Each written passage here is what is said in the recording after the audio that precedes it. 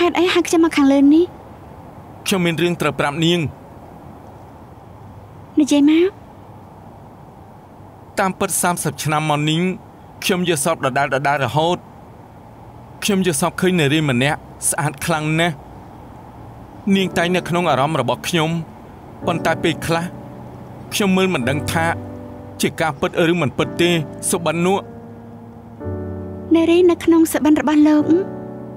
ជាខ្ញុំមែនទេអេមិនក៏នាងដឹងនាងសុបិនឃើញខ្ញុំដែរចាំមែនអើយកុំប្រើពាក្យញ៉ាយស្រីសេរីចាស់បានឬអត់ខ្ញុំដឹងគ្មាននរណាជឿទេអូខេខ្ញុំជឿលោកក៏បានតែខ្ញុំមិនវិញក្នុងសបិនលោកនោះ មានឲ្យលេខឆ្នោត6ខ្ទង់ឬក៏អត់ ប្រកាសជាអត់ហើយ នាងឲ្យតែលេខផ្ទះប៉ុណ្ណោះ